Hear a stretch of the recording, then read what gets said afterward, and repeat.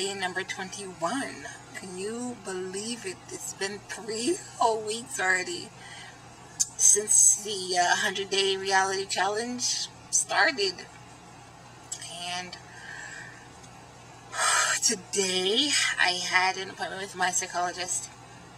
And uh, we talked a lot about family things and about um, my attempt at trying to really be in a genuine place concerning the family member that I'm not currently getting along with and a couple of other things but then we ended up talking about me and the things uh, in my life. And I have to say that um,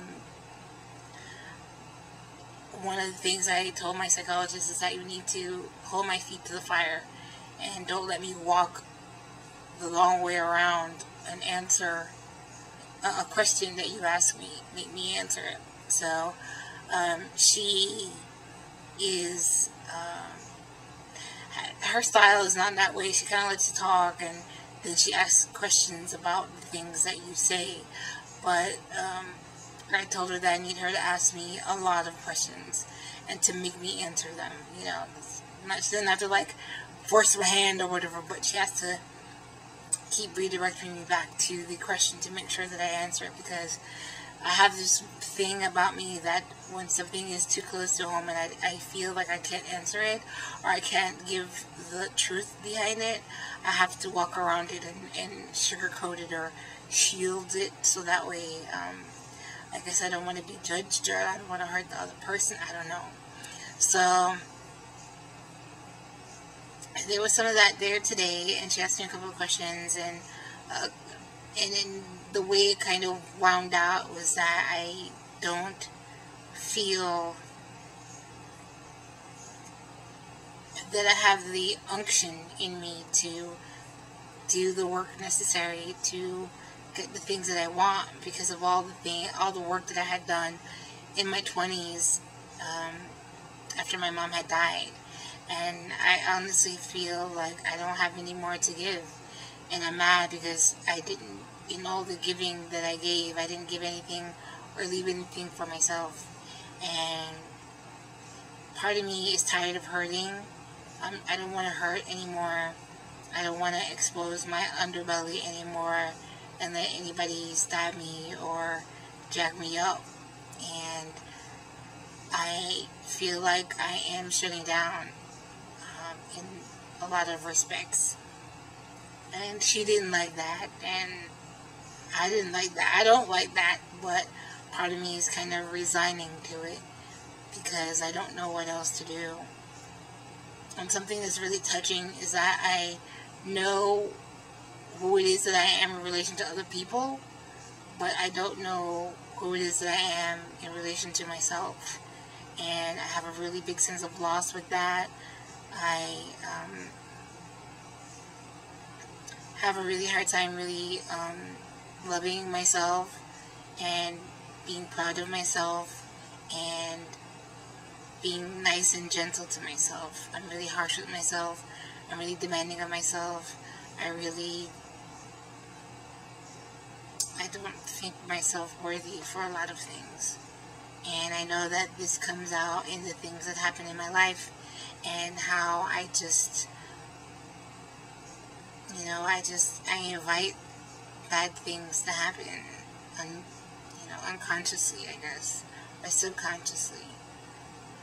It's been a really big fight because I'm making con conscious effort and decision to allow good things in, however fleeting they are, but to allow them in and to really embrace them and accept them and, and, and love them and it's something really different and I want to continue on to that practice.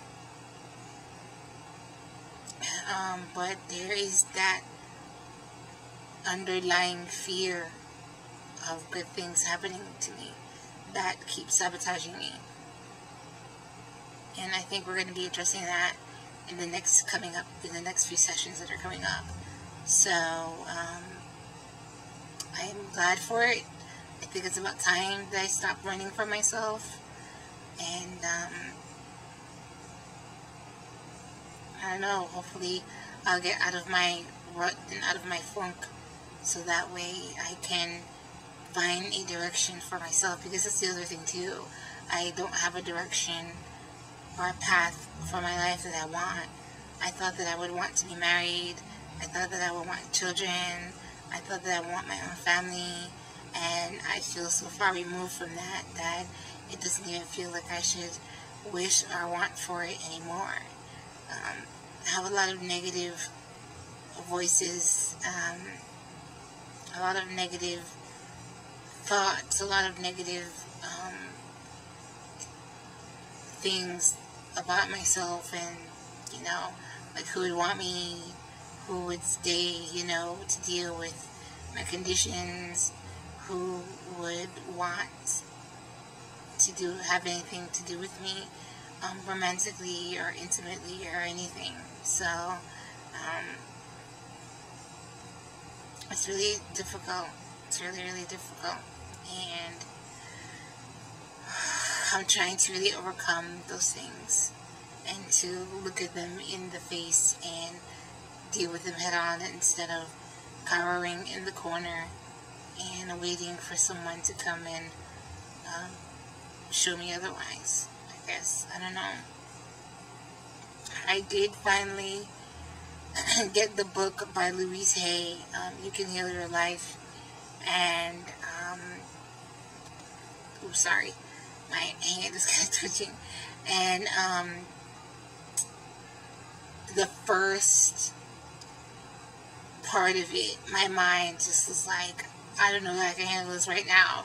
So I'm going to start reading it tomorrow and working through it so that way I can start to heal some of these um, things inside of me that are sabotaging me. So that was day 21. I will probably be able to post every day now because I do have the book and I'll be working on certain things in the book. So, um, alright, co-creators. I will see you again tomorrow. Have a good evening. Bye.